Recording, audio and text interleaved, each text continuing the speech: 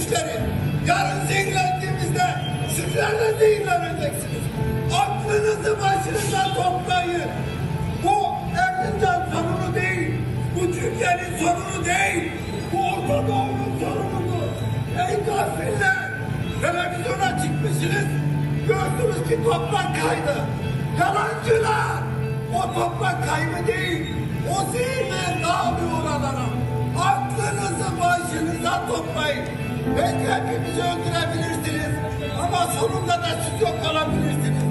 Benim adım Mehmet Soylu. Ben bu halini adına konuşuyorum. Alın beni götürün zindanlara atın. Alçakçılık, alçak Amerika. Ülkemizi terk edin. Kahrolsun Amerika Birleşik Devletleri. Kahrolsun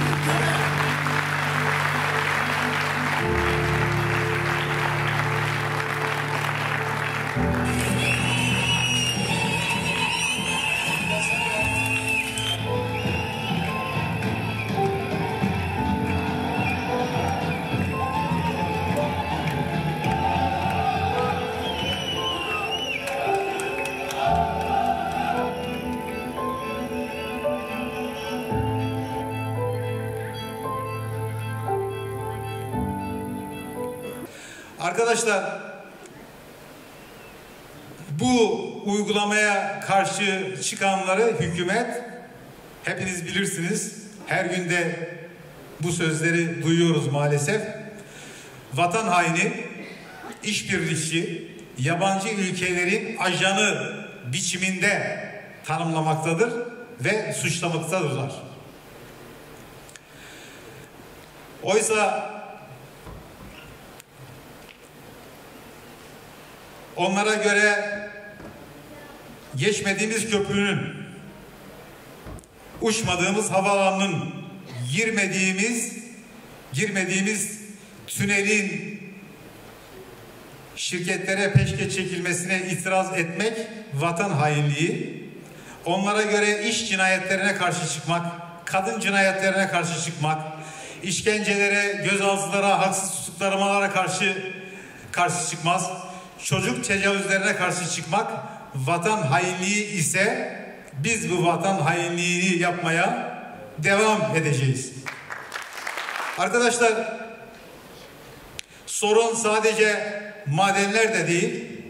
Hepiniz Muzur'a, Dersim'e, Ders ya da Türkiye'nin değişik alanlarına gidip geliyorsunuz.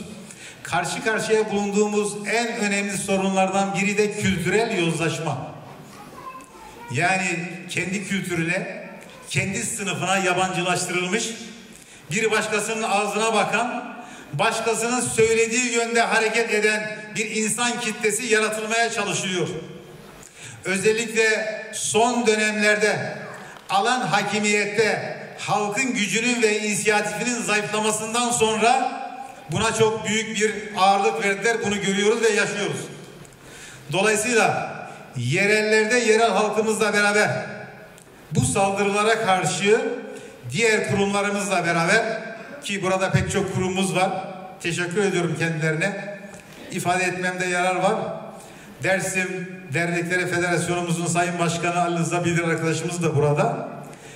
Omuz omuza vereceğiz bütün kurumlarımızla beraber sermayenin bu saldırılarını mutlaka püskürteceğiz.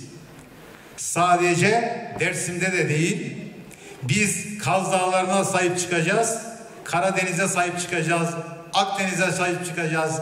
Yani oradaki mücadelelere destek vereceğiz ki o insanlar da bizlere sahip çıksın. Yani yerellerin dayanışmasını hep birlikte yaratacağız arkadaşlar. Teşekkür ediyorum. Halkı kandırdılar. Aynı halk iki yıl sonra oraya gittiğimizde özellikle yaşlı kadınlar bizim için geldiler. Bizim kurumlarımızın önünde bizimle birlikte slogan attılar. Bizimle birlikte o yapılan tahribata karşı çıktılar. Sonra da ne oldu? Sonra da katliam yapıldı, oldu ve insanlar topraklar altında ölüme terk edildi. Hiçbir burjuva siyasal temsilcisinin gıkkı bile çıkmadı. İşte biz bugün bu anlamda Muzlu Çevre Derneği'nin ortaya koyduğu bu etkinliği gerçekten olumlu buluyoruz, doğru buluyoruz ve kendilerini yürekten selamlıyoruz. Bu yaptığı başarıdan dolayı da kendilerine Dersim Dernekler Federasyonu'na yürekten teşekkür ediyoruz. Sağ olun, var olun.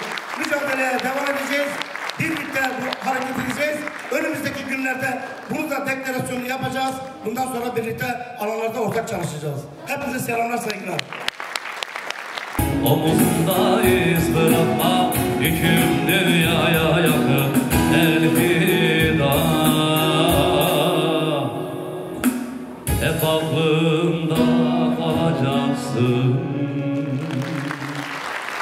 Eyvallah, teşekkürler.